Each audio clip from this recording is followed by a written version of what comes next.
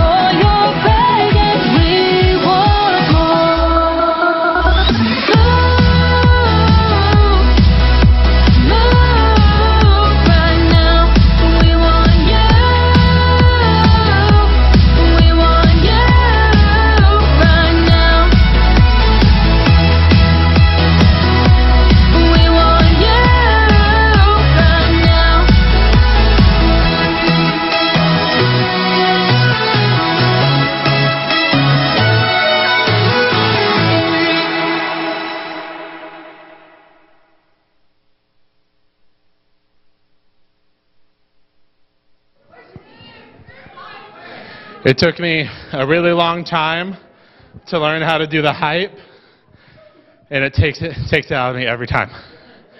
Whew. Alrighty, like I said, we are so excited to have you guys here at Monumental VBS. And this entire time, we have been talking about taking long trips to the desert. Some people get to the desert by plane. Some people get to the desert by camel. Other people get to the desert by taking really long road trips. You guys ever been on a road trip before in your life? About three to four times a year, I make a road trip to Texas. That's a long road trip. I am lucky enough to have my best friend in the world, my wife Desiree, with me on those road trips. But who are some people that you would want to go on a really long road trip with you? What'd you say, Bob? Your friends?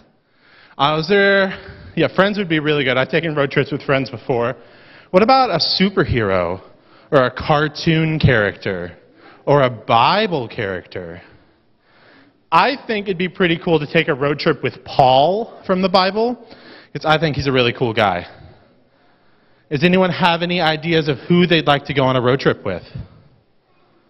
Friends, yeah. Any superheroes, princesses? What's up, Jay?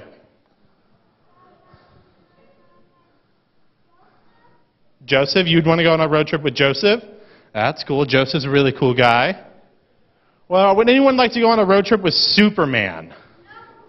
I don't know. If I was friends with Superman, I simply would not go on a road trip. I would just ask him to carry me places.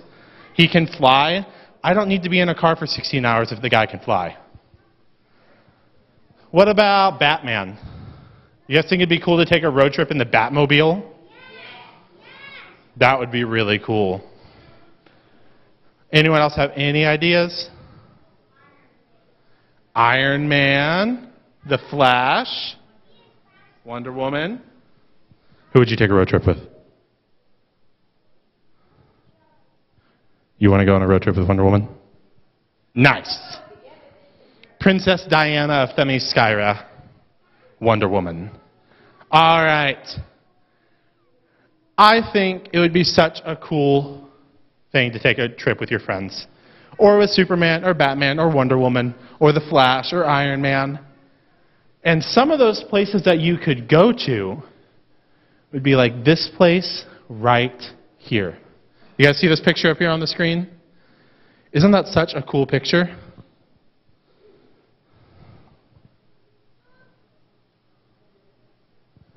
Now, this is called the Valley of Rocks. Everybody say the Valley of Rocks. Say it really strong and deep. The Valley of Rocks. There we go. That's good.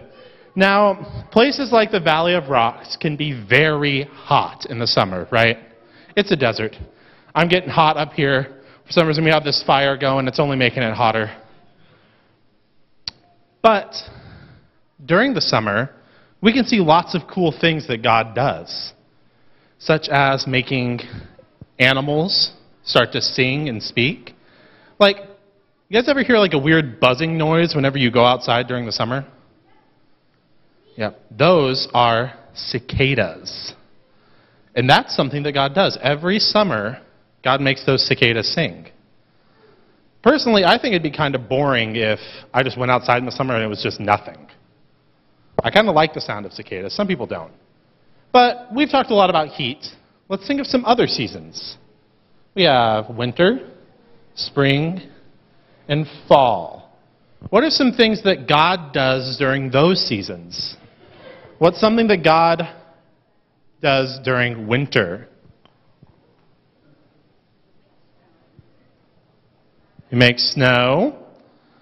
You guys think of anything else that God does during winter?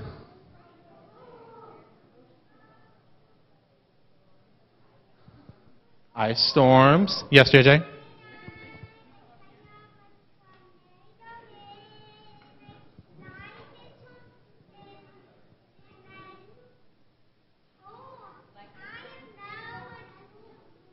Mm-hmm.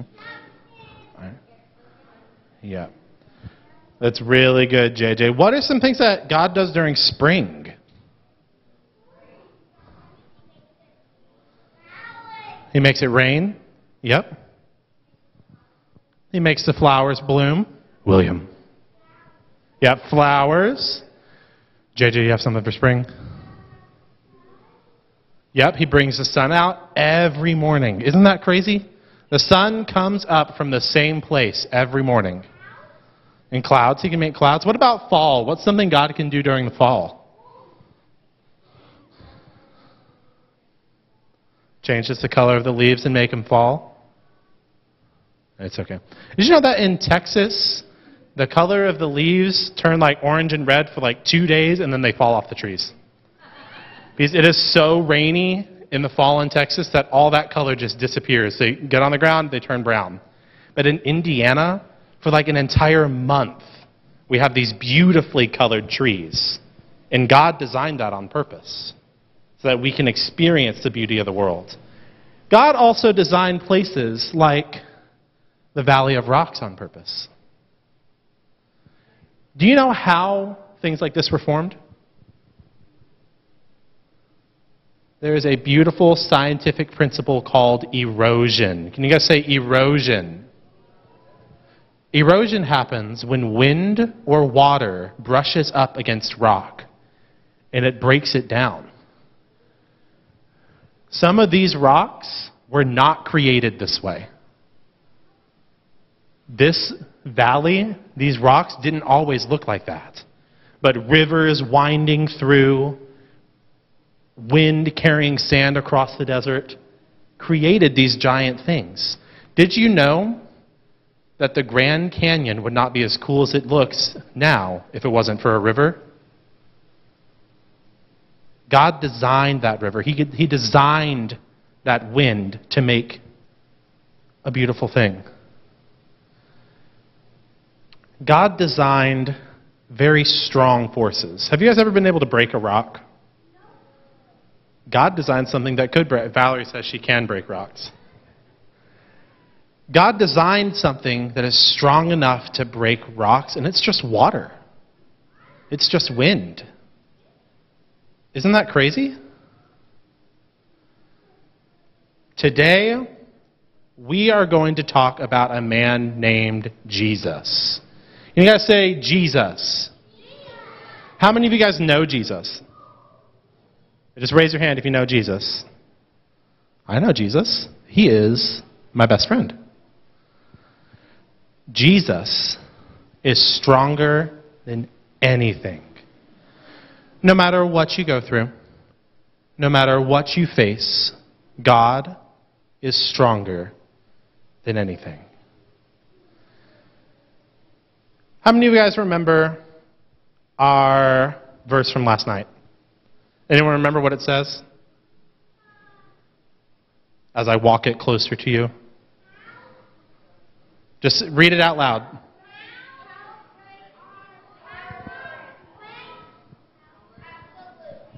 Yep. How great is our Lord? His power is absolute. That was Psalm 147.5. 147.5. Yep. I need everybody to freeze. Yeah. We have another Bible verse to talk about today. So let me unclip my paper and then clip it back and then do the same on the other side.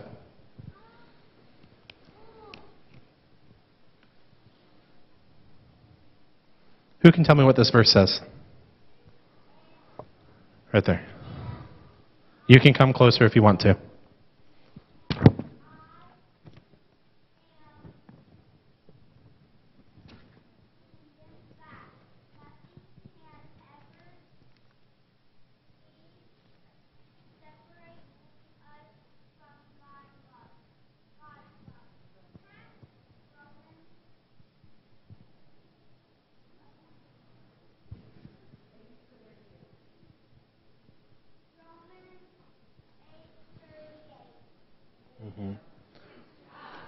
Yeah. Very good job. As this says, and I am convinced that nothing can ever separate us from God's love. There is nothing in this world that is powerful enough to separate us from God's love. Even the wind, rain, and rivers that God created that carved away these canyons and rocks are not strong enough to separate us from God's love. Even the things you think about yourself, the things that people say about you at school, maybe, are not strong enough to separate you from God's love. God still loves you. And as we meet our Bible buddy for today, we will continue to learn that God is stronger than anything.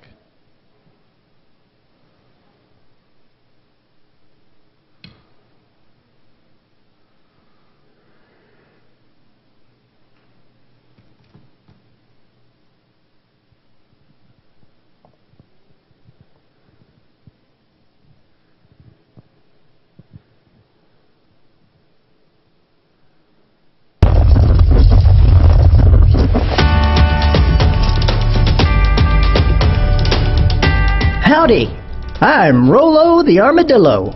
I'm the official state animal of Texas, y'all. Don't mess with Texas. There are a lot of different kinds of armadillos. Some are big, some are small, some are pink, red, black, gray, or even yellow. Some have different kinds of armor. I'm a nine banded armadillo, but I can have anywhere from seven to eleven bands. Those bands are a big deal. In fact, all armadillos have some kind of armor. Maybe that's why the name armadillo means little armored one in Spanish. So let's talk some more about my armor, y'all. It's made up of overlapping plates that cover my whole body from head to tail. We may not be furry and cuddly, but we're strong. Our tough armor protects us. When danger comes, we just dig a quick hole and get inside so that only our tough armor is showing. No one can get us. Some armadillos roll up in a little ball, so just their armor is showing. Even with all this armor, I can swim really well if I need to. And I can hold my breath underwater for up to six minutes, y'all. God even gave me another way to stand strong when predators come around. When I get scared, I jump four or five feet straight up in the air. That big jump usually surprises anyone who thought I looked like a tasty treat. So even though I'm only about the size of a cat, I am one strong animal, y'all. God made me strong, but He's even stronger. God is so strong, He's even stronger than death itself. In the Bible, the book of Romans, chapter 8, verse 38 says, And I am convinced that nothing can ever separate us from God's love. Just like nothing can get through my strong skin, nothing can break God's love for y'all. So when you lie, or disobey, or say something mean, God's love and forgiveness surrounds y'all like an armadillo's armor. My strong skin protects me when other critters want to eat me. Woo! My swell shell can remind you of someone else who's strong. God. God is stronger than anything.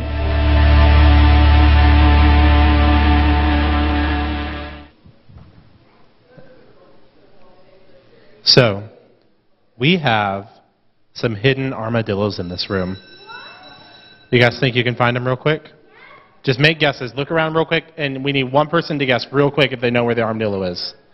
You need 10 more seconds. 10, 9, 8, 7. This is our one guess. Nope, that one's not hidden.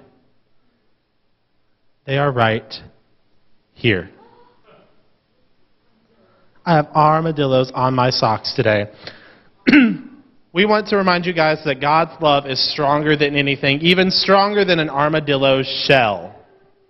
So as you go into your stations, remember how strong God's love is for you. You guys can go.